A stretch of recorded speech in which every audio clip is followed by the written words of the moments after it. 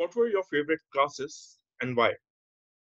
The reason why the interviewer might ask you this question is to understand your interests. In a possible answer, you can include why did you like a particular subject and what caught your attention. For example, though I liked all the subjects, science in particular was my favorite class to study. I liked studying physics, the laws of nature, our environment, ecosystems, and I was curious to know how different things work. I also liked to study music because of my own personal interest, and it helped me in being more creative. Now, some tips be creative with your answer.